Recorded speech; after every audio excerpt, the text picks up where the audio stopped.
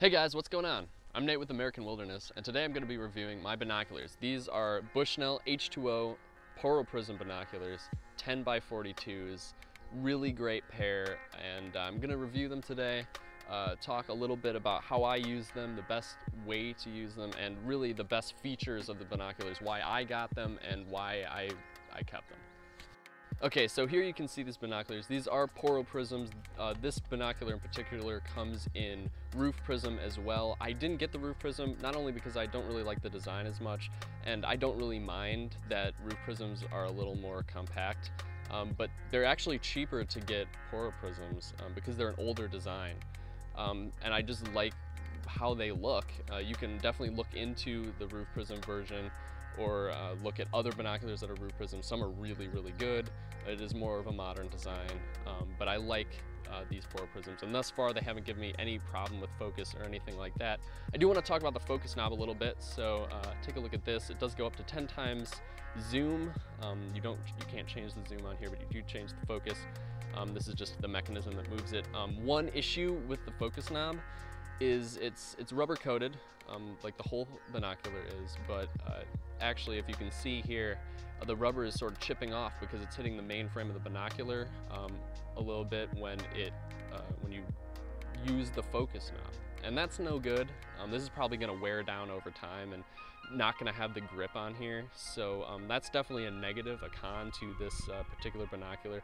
But that's really one of the few flaws that I've found thus far. Um, after a while, this will look better just because it gets worn down and um, it won't look like it's just chipping off right there. But uh, that's, that's an issue. I don't know if it happens with every single binocular. Maybe there's something wrong with mine.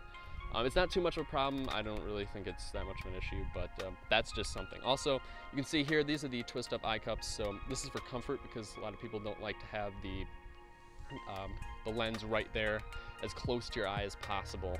Um, so even though when you twist these up and you use them, um, it will give you less of a field of view.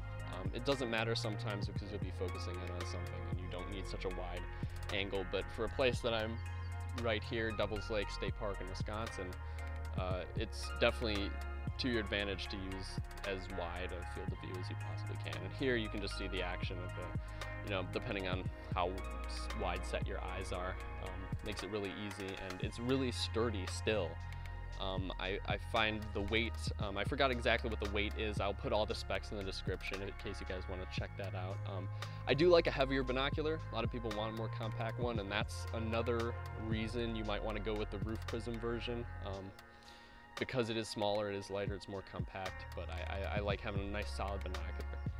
Uh, something else I want to talk about briefly is this Bushnell um, binocular harness. If you want to see the back of this, um, this particular binocular came with a, uh, a neck strap.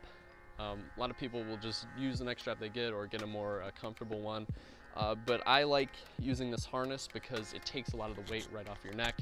Um, it's elastic and it keeps the binocular from bouncing around too much. So it's actually way more comfortable. Uh, you do have to get it separate. It doesn't come with this binocular, but you can get it on Amazon or any um, optics or scope website. Um, it doesn't have to be Bushnell. It doesn't have to go with this because here it's just you sort of tie this um, this rope around and uh, yeah, it's fully adjustable. So that's something I do recommend if you're going to be using your binocular or scope or whatever um, for a long period of time and I hope I'm going to be able to keep this binocular for a long time because it does seem really durable. And I'm going to talk about one more aspect of this binocular before I give my final opinion and that's the fact that it's waterproof and fog proof.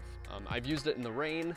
Uh, I was up at Necedah National Wildlife Refuge a couple weeks ago. It was raining the entire time but I definitely needed these and both features the uh, waterproof and fog proof aspects of this binocular were really useful because you don't want to take your really nice pair of binoculars out in the rain and then have them ruined. I don't know how other um, non-waterproof binoculars uh, do under rain conditions, but if you were to drop it in the water, this one would definitely hold up, other ones would probably break. And the fog proof is really useful maybe if you're in a really high humidity area and you're trying to actually see something.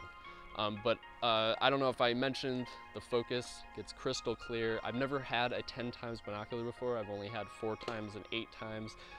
you can definitely tell the difference. You can definitely tell this is a good modern binocular, as clear as as you could really want.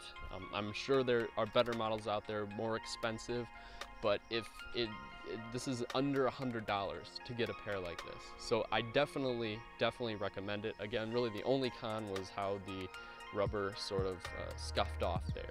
Other than that, I've had no issues. I will hopefully keep this, cherish it for many years to come. And if you're looking into binoculars, uh, I would definitely consider uh, not only this binocular in particular, the Bushnell H2Os, but I would say look at Bushnell. They have a great legacy. I've had Bushnell binoculars before and they're still great even if they had a small uh, folding um, roof prism model, but absolutely recommended. Um, if you have any questions about this binocular pair or uh, any binoculars or scopes in general, make sure to leave it in the comments section below. I'll be happy to help you guys out. Um, anything uh, bird related or just looking out at great vistas like this, I highly, highly recommend it. Uh, thanks so much for watching. Again, any questions, comments, concerns with the way I presented this video, goes in the comments section below, please. Thanks for watching again. I'm Nate from American Wilderness. See you guys later.